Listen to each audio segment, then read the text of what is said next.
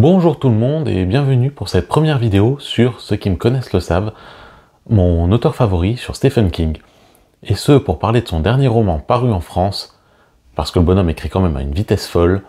D'ailleurs son prochain roman sort sous peu aux états unis mais celui dont on va parler c'est Billy Summers.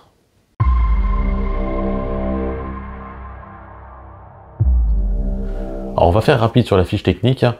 Billy Summers est donc écrit par Stephen King, il est publié par Alma Michel, il est sorti le 21 septembre 2022 et il fait la longueur, modeste pour un King d'ailleurs, de 551 pages.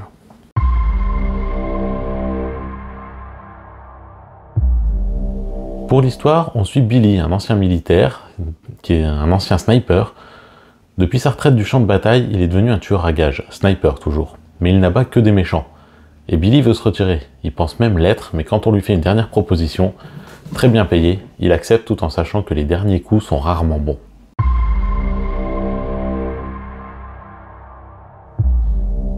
Voilà donc l'histoire de ce Billy Summers. Un roman porté donc par la voix de Billy à la première personne. C'est lui qui va nous dévoiler son plan. Lui qui se présente comme Billy l'idiot, lecteur de Riverdale et autres BD, ou tout du moins ses commanditaires le voient comme ça. Alors qu'en fait, il est bien plus malin, il est plutôt un lecteur de Zola. Et pendant sa planque, eh ben, il va en profiter pour écrire son histoire. Ça, c'est pour la première partie d'un roman qu'aurait pu écrire Richard Bachman. Paix à son âme d'ailleurs, saloperie de cancer du pseudonyme. Il aurait pu être écrit par Richard Bachman parce qu'il est totalement dénué de fantastique, et ce malgré quelques références à l'Overlook Hotel de Shining. Non, Billy Summers, c'est un personnage profondément humain malgré son boulot. Et s'il travaille pour des méchants, c'est aussi pour abattre des méchants. Alors quand il peut aider, bah aider, il va le faire. Puisque les deux dernières parties du roman vont changer la perception qu'on peut avoir de lui.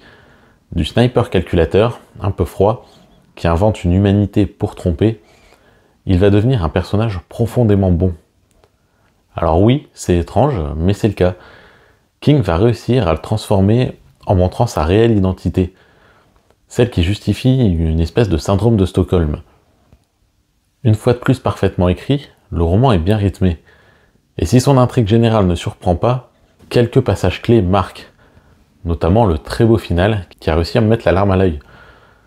Billy Summers est un très bon cru du King qui rappelle qu'il est toujours bien présent, que ses personnages sont toujours aussi bien écrits et qu'il a une vraie conscience du monde qui l'entoure. Cru sans l'être, violent sans le savoir, Billy Summers est une véritable réussite. Alors si vous l'avez lu ou si vous comptez le lire, bah, je vous laisse laisser votre avis sous la vidéo et je vous souhaite une bonne journée à toutes et à tous.